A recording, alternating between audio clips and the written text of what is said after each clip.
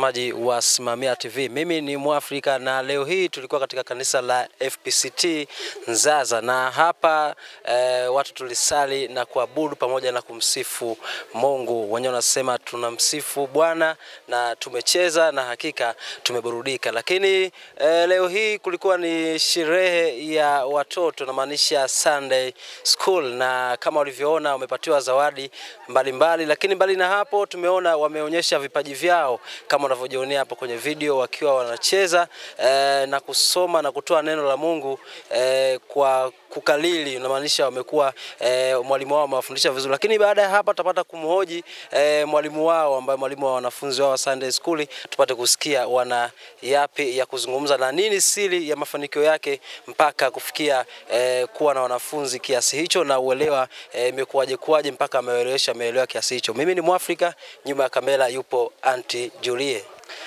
Mtazamaji wa Simamia TV, Bwana Yesu asifiwe kwa mara nyingine tena, na kama nilivyokuambia hapo awali kwamba tulikuwa katika, katika kanisa la Nzaza ambalo linapatikana huko Kabanga katika wilaya ya Ngara mkoani Kagera nchini Tanzania, na nilikuambia kidogo kwamba leo eh, ilikuwa ni siku ya sherehe ama siku ya watoto Sunday School ambao, ambapo walikuwa wakisherehekea, lakini tumeona vipaji mbalimbali vya watoto, tumeona watoto wakicheza, wakiimba, e, tumeona watoto vile vile wakionyesha umahiri wao kwenye e, kutoa neno la Mungu. Sasa huyu ndio mwalimu wao ambaye yuko mbele hapa. Sasa nilikwambia atatuambia nini siri ya wale vijana kuwa e, na ule uwezo wote, ilikuwaje kuwaje? Basi e, tupo naye tumezoea kumwita Uncle G, lakini leo inabidi atatuambia jina lake anaitwa nani.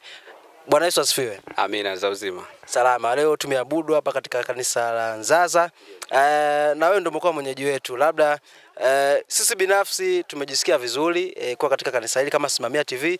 Uh, tunawapongeza pia kwa kufanya sherehe ya vijana namaanisha Sunday School. Sasa utatuambia hii sherehe kwanza ina maana gani, lakini utaanza kwa majina yako. Mhm. Kwa watu wengi wamenizoea mimi kama mwandishi wa habari, kwanza nianzie hapo. E, wamenizoea kama mwandishi wa habari, lakini mimi ni naweza nikasema ni multipurpose. Mimi kwa hapa kanisani ni mwalimu wa watoto, niko na darasa ambalo nalifundisha kila siku ya Jumapili. Maarufu, yani watu wengi wamezoea kwa umaarufu kwamba ni Sunday School. Uh, tunaita darasa la Jumapili.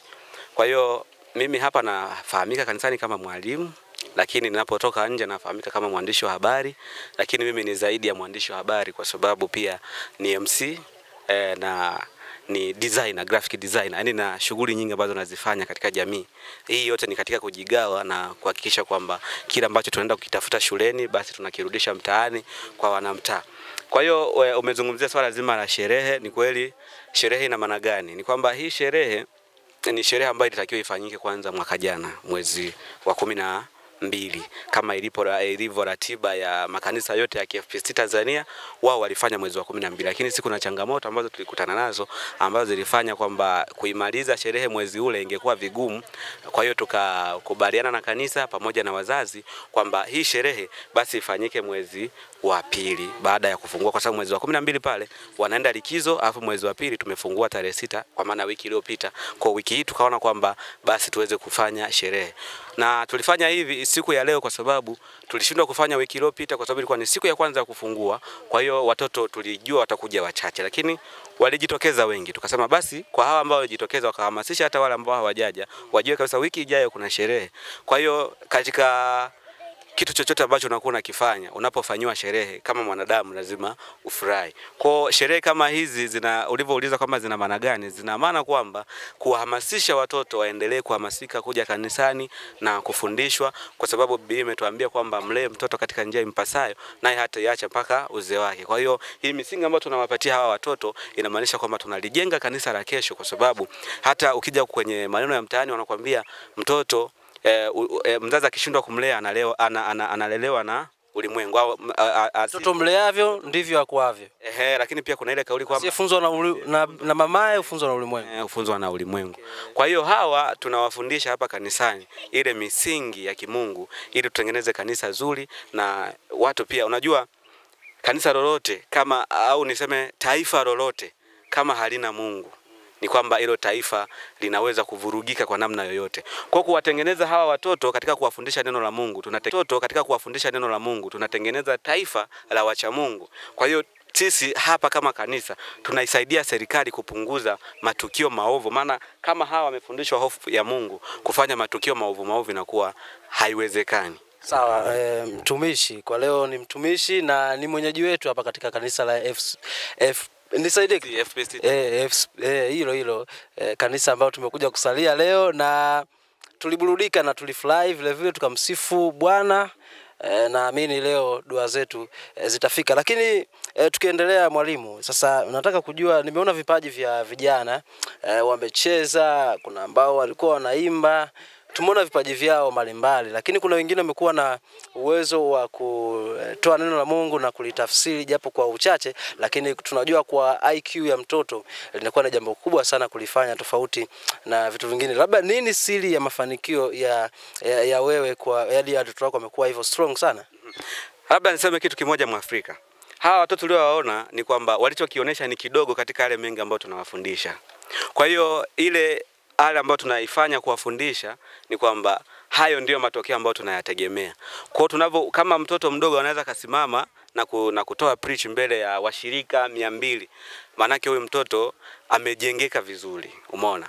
Na kuna baadhi ya watoto ambao kwa leo kidogo hawakuwa tayari kwa, yani sio kwamba kichwani hawana vitu, wana vitu, ila ile confidence ya kusimama mbele ya washirika kidogo ikawa changamoto, ndio maana hawajaweza kuonesha vipaji vyao. Lakini humu kuna waimbaji, kuna wahubiri, humu humu kuna wa, wa, wa, watu wa kudansi wanaodansi, lakini pia humu hata tuki, sijaweka hiyo program, lakini nadhani hata waigizaji wanapatikana humu.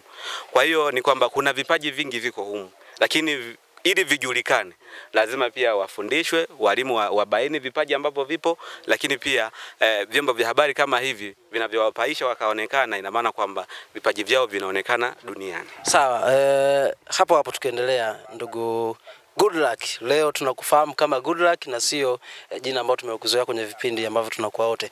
Uh, ningependa kufahamu eh, kuna huku maeneo ambapo tuko tunafanyia kazi, maeneo ya Kabanga e, wazazi ama raia wengi wa huku wamekuwa ni e, waoga e, pale wanapoona kamera, maiki, inamaanisha wanahabari kuzungumza vitu mbalimbali. mbali. Na wewe sasa una jukumu ukiwa pia ni mwandishi wa habari na ni mwalimu wa vijana e, unafanya mbinu gani ili hawa vijana e, tumeona wana, wana confidence e, wanajiamini eh, ili kuwaongezea sasa sasa viwe vizazi ambavyo watakiwa watu wazima, viwe vizazi vya tofauti ambao eh, wanapoona wanakero na jambo lolote wanakuwa sio waoga, wako haraka kwenye ku, eh, ku express kitu chochote ambacho wanakiona kipo sawa. Una, una, unafanya yani, utafanya kitu gani ama umeshalifanyia kazi hilo? Ah, labda Mwafrika nikutoe hofu. Hawa vijana unavyowaona, ni kweli Kabanga kuna changamoto ya watu kuogopa kuzungumza na waandishi wa habari, kuzungumza kwenye vyombo vya habari. Lakini hawa watoto pia, kwa sababu mimi ni mwandishi wa habari, natumia nafasi yangu ya mwalimu kuzungumza nao ili na wao wajengeke, waone kuzungumza na vyombo vya habari ni mambo ya kawaida sana. Na naamini pia hapa unaweza ukapata nafasi ya kuzungumza na wawili watatu, utaona kiwango alichonacho cha uwezo wa kuzungumza ukilinganisha pia na umri wao. Sawa, mimi na mimi niko mwisho, lakini utatuambia neno la mwisho la kuwa Tumeona leo kwanza umetufundisha eh, somo la malezi na eh, la mtoto, yani mzazi, jinsi ya, ku, eh, jinsi ya kumlea mtoto eh, katika njia impasayo. Tumeona umezungumza vizuri eh, vingine sio wengine pia wazazi eh, tuna watoto sasa tu, eh, tumefurahi kuona hilo. Naamini watazamaji watajionea clip ambayo ukiwa ukizungumza, lakini tukiachana na hilo, sitaki ulizungumzie sana. Mimi natamani vijana wako e, tumeona pia umewapatia zawadi e, madaftari umewapatia na vinywaji kidogo aburudike. Labda hii hii imeipata wapi hii, hii, hii, hii michango ama pesa nimetoa, kuna mtu kawafadhili ama imekuwaje? Hapana, eh, kwa kuzungumzia labda mfadhili, hatuna mfadhili. Labda anayetutazama kama anaweza kutufadhili, tunamkaribisha. Tuko huru kabisa, na kweli tunahitaji ufadhili, kwa sababu naamini watoto wanaonekana, na ikizingatiwa huko ni mazingira ambayo sio miji mikubwa. Kwa hiyo hizo uh, zawadi ni kwamba ni sadaka zao wanazotoa, sisi tunazigeuza sasa kununua vitu kama hivyo ambavyo umeona vinywaji, umeona wamepata vitu vya kutafuna, na watu wanasema bwana, sherehe kula na kunywa bwana. Kwa hiyo lazima tu- tu- tuhakikishe hayo tunayatimiza, lakini swala madaftari na nini, vyote ni katika kwa, ku, ku, kutimiza ile azma kwamba Uh, lazima watoto wa, watengenezee kitu cha kuwatengeneza motisha. Eh, wazungu wanasema motivation. Kwa hiyo tunapofanyia motivation kama hivi, ina maana mtu umempa daftari anasema eh, ili daftari natakiwa niende kuliandikia kanisani. Kwa hiyo Jumapili anahamasika kuja ku, ku, kanisani. Hivyo ni, ni vitu ambavyo tunaweza nikasema ni motivation kwao. Sawa, mi nikushukuru. Naomba sasa vijana wako nipate kuzungumza nao. E, mtazamaji wa Simamia TV, hawa ni miongoni mwa vijana ambapo tulikuwa nao. Sasa tutapata kuzungumza nao wachache. E, wana furaha namna gani? E, wanafurahia nini? Na siri ya wao kujifunza na kuwa na mwalimu ambaye pia ni mwandishi wa habari. Bwana Yesu asifiwe. Amina. Unaitwa nani? Naitwa Rebeka Izwa. Unaishi wapi? Naishi Ndimanga. Unajisikiaje? Najisikia vizuri kwa sababu leo ilikuwa sikukuu yetu na na nina furaha kwa sababu nimepata hata zawadi. Umepata zawadi. Ndiyo. Uh, unasoma darasa la ngapi na shule gani? Nasoma darasa la sita shule ya Mkukumba. Okay, eh, mwalimu wenu umesema wanafundisha vizuri. Wewe umekuwa ukihudhuria kila Jumapili ama kuna ambazo zile una miss? Nilikuwa nakuja. Jumapili zote? Hapana. Sio zote. Ndiyo. Changamoto ilikuwa wapi labda? Changamoto iko wapi? Okay. Labda kuna mambo anakuwa na ya kidogo kufua nini? Ndio. Haya, asante. E, mtazamaji wa Simamia TV tumeona e, yuko vizuri, ana uzoefu, anazungumza. E, kuna vijana bado naendelea nao. Bwana Yesu asifiwe. Amina. Unaitwa nani? Naitwa Joyce Petro. Unakaa wapi? Kijiji cha Mrukukumbo. Mrukukumbo. Haya, na leo labda unajisikiaje kwenye sherehe na siku ya leo? Unajisikiaje kupewa zawadi leo? Najisikia vizuri kwa sababu nilipewa zawadi na leo ilikuwa siku sikukuu yetu. Ah, wewe ni mhudhuriaji mzuri wa kwenye darasa la mwalimu wako siku ya Jumapili? Hapana. Hapana, changamoto labda ni nini? Kugua. Ah, pole sana. Kwa hiyo unataka kutuambia kuanzia sasa hivi utakuwa kila Jumapili unahudhuria eh, kwenye masomo na mwalimu wako? Ndio. Ah, nikushukuru sana. Unasoma darasa ngapi kwanza? La saba. Shule gani? Nikukumba. Okay, unamaliza mwaka huu. Ukimaliza labda unataka kuwa nani? Ukitoka la saba form 4 umemaliza mbele, unataka kuwa nani? Mwalimu. Kuwa mwalimu. Unataka kuwa mwalimu kama mwalimu wako? Haya, ongera. Eh, mtazamaji wa Simamia TV na kijana hapa. Huyu kijana bwana alicheza sana. Nilimuona amecheza sana, alinifurahisha. Umeona? Na ameimba nyimbo moja vizuri sana na anajiamini. Bwana Yesu asifiwe. Amina. Unaitwa nani? Kaisari Godfrey. Unasoma shule gani na darasa la ngapi? Prince English Media unasoma darasa la pili. Darasa la pili. Mbona umechangamka sana kwenye kucheza? Nani anakufundishaga? Kaka Goodluck. Kaka Goodluck, unamaanisha mwalimu wako? Mm. Eh, mwalimu wako kumbe anajua na kucheza? Mm. Ah, se, hongera sana. Eh, unajua kuimba pia? Ndio. Kabisa? Ndio. Sawa, leo unajisikiaje kwenye sherehe yenu? Vizuri. Vizuri kabisa? Mm. Haya, sawa. Wasalimie mama na baba. Haya. Haya, mtazamaji wa Simamia TV, hao ni miongoni mwa vijana ambao eh, nimepata nafasi ya kuzungumza nao katika kanisa la FPCT Nzaza namaanisha, na mwalimu wao amezungumza mengi, wanafunzi wao.